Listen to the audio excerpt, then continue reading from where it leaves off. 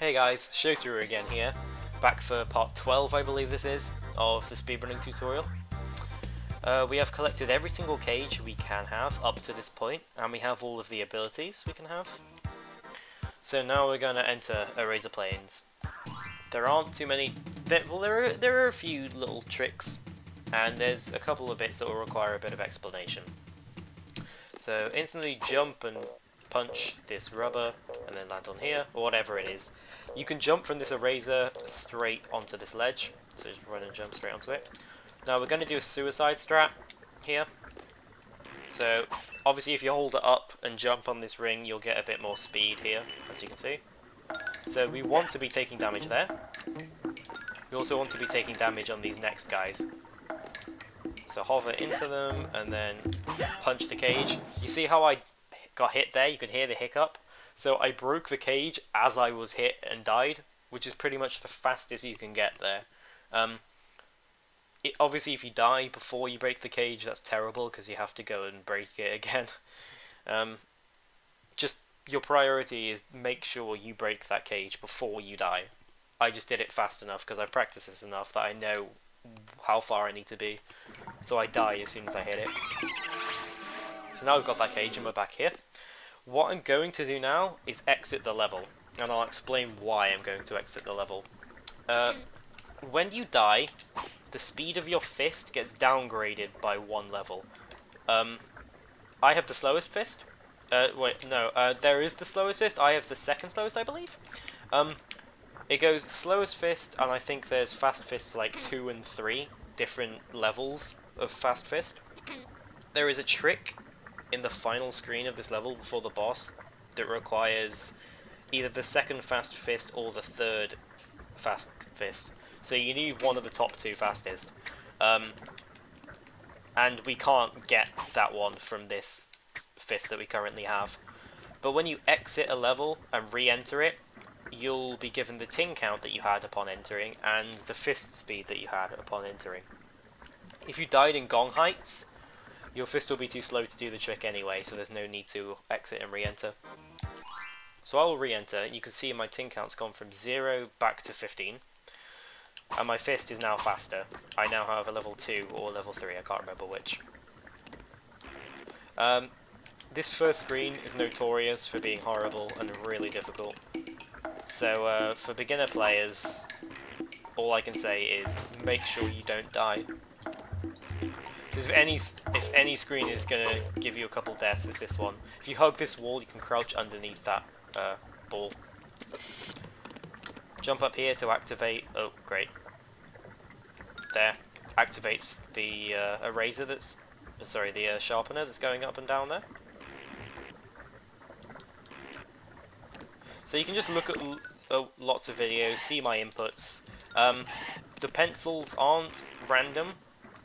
They're based on your movement beforehand, but they feel quite random. So yeah, that's that's going to require a lot of practice. I will show you though, um, at this point, the uh, eraser might be coming towards you as you're ready to get up onto it. So if you do a, if you do a short enough jump, you can sort of like land on the sharpener at the perfect timing that you can jump back up onto the ledge, if that makes sense. So, like that. So that so that makes it a cycle earlier, so you can then run below the sharpener. It doesn't really make much difference if you're just starting out, it just saves a couple seconds. And then carry on like this, be very careful. The one problem that people see that I've noticed is sometimes if people use helicopter, the helicopter disappears, and that happens with these roofs of that of that um, screen right there. Sometimes you use your helicopter and it'll uh, just stop working and you'll fall and die. So you got to be careful. Get the small one. I actually I will explain this. Um, run through here. Jump, jump. Uh, the spawning point is above that yellow pencil for the for the elf fairy thing that makes you small. Um, you can jump incorrectly and not spawn it. So you could leave it a tiny bit to make sure you get on top of the pencil. Um, just have to test that out for yourself. jump and then break that. Hold down so you don't grab onto any ledges. Jump, grab this, and if you're fast enough you get that first cycle right there, which is nice. Jump, jump. You don't want to hold up or down there because you might get hit by the pencil. Keep running and then you'll catch this cycle too. Jump and punch, and then you can quickly get on top of this. Just like that. Okay, um, that explanation I had for the fist earlier will come into play here. I will obviously show you what you do if you don't have a fast enough fist. Um, so you can see there's a cage just off the right hand side of the screen. What you usually do is become small Rayman. So I'll show you what you do now. Um, you'd have to get on this ball. You see how one of the balls doesn't have a spike? Um, what you can do is crouch underneath, and then once you let go of crouch, you'll get hit. And once you jump, you'll jump on the one that doesn't have a spike, so you have just enough time. Get hit, and then jump up here like that. And then stay on the left hand side. These guys will come at you like that. Get this, get the P if you want to. So now that you're small, you can go down, and break it like that. That's what you do if you don't have a fast enough fist. If you do have a fast enough fist, go here. If you jump into the wall, you go a tiny bit further, like this. Um, hold your uh, your punch for quite a long time. Let go, and you break it. A thing I have noticed helps. Uh, I uh, the actual world record holder at this uh, the time of this video actually found out and told me. If you jump just before it hits the cage, you'll have a better chance of your fist reaching it. So I give it like a few spins, four or five spins, bum, bum, bum, and then jump. That helps you hit it. So now you hit that, continue. So obviously you don't have to do all the long uh, thing of becoming small and all that. You can punch that guy, wait for yourself to become big again, and then you go up here, Jumping up here spawns the, the sharpener. Jump. Now, if you have enough health, you have to be careful of your health in this screen because you want you want at least like three or four health here, preferably four or five. Um, but you want around that. Anything less, and you can't do some skips for the boss. So be very careful with your health. Um, here will be a damage boost. You can look the opposite way. Well, I think you can anyway. And then run, punch this. Oops. And then punch the cage. What I do is I jump when my feet are in line with the little uh, grey-brown marker on the pencil that I'm beside. I jump to grab onto the ledge of the uh, spiky things, and then hold left and jump again so I get hit by it and then I run through, punch it, and then as I'm falling down I punch the cage, just like that.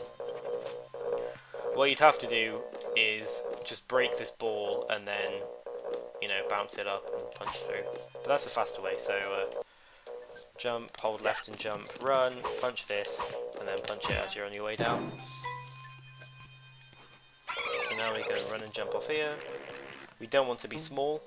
Uh, again, if you're positive you won't get hit after this, what you can do, hover under here, oh great, uh, hover under here and then look to the left, so that just skips those quite a bit, otherwise just hover, hover, hover, it's, it's quite tough actually.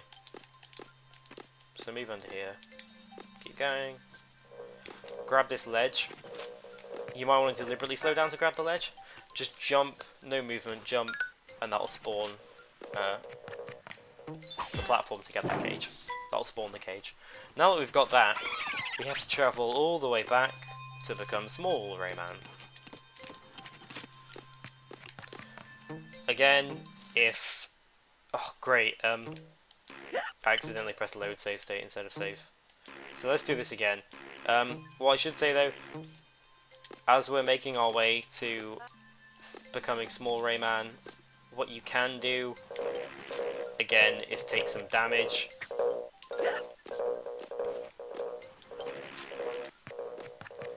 Okay, let's just get this. Spawn that. Go onto here, break the cage. Um, so now that we have 5 health, you can afford to take 1 damage, preferably. Um, you might decide to use it here, so if you just hold left, you can just pass through like this. Now that we're small, hover through, don't waste any more health. So if you're scared about losing too much health, I just recommend not using that damage boost that I just did. Gotta be careful here, because uh, if you don't do it right, you fall down into here, and it's really tough to get back up. So don't be afraid to hover, like that. Don't be afraid. It doesn't matter to a. It doesn't matter if you slow down and grab onto that eraser, as long as you survive. Jump just before the ink runs out, and you can fast, uh, quickly go into here. Weave through like this. Keep crouching. You can run in between these pencils, but you'll get hit by them if you're not careful, so I don't recommend it. Okay, now we're here. This next bit requires fast mashing. So mash really fast, run out the way, mash really fast. If you're fast enough, you get two cycles there.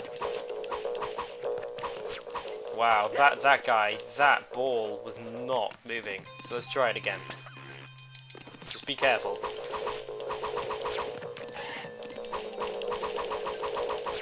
You can see I've got two cycles there, which is good, which is what you want.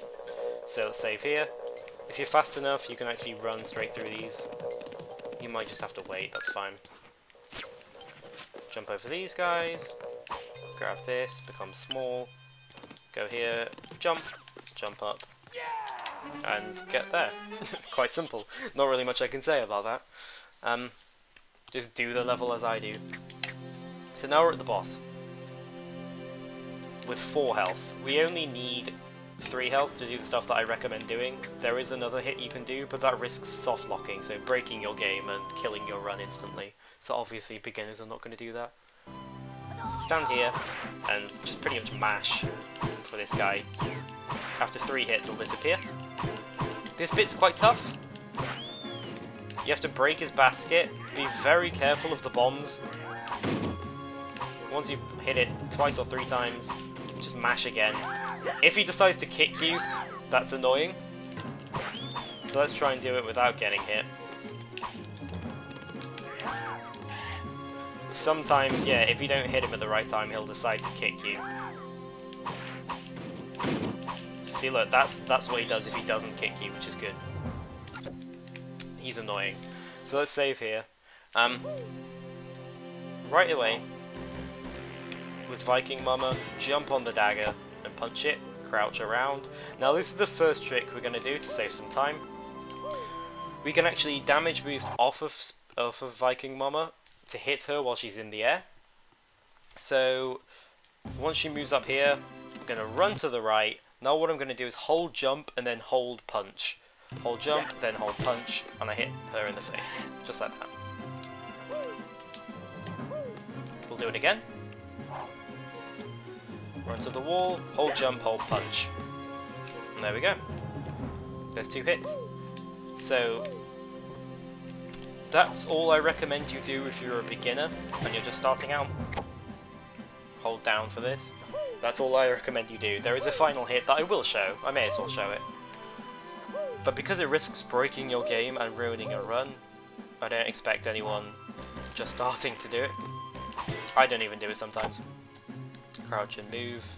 So here's the final hit. What I use to time it is when the third, so this one, uh, this dagger I'm standing below now, when this one aims itself at me. Do the same thing. And there we go. Because of that, you can see when my hand's in the air, that means I succeeded.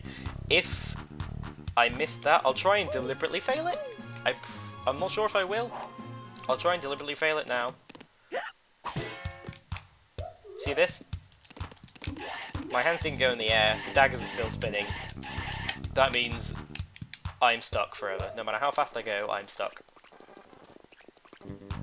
Um, So yeah, that's the risk you're taking.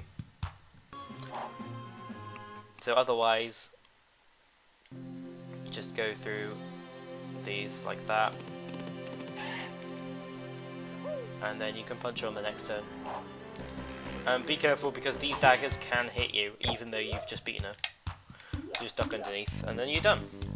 That's Eraser Plains. I hope I explained it well enough because that level's quite confusing.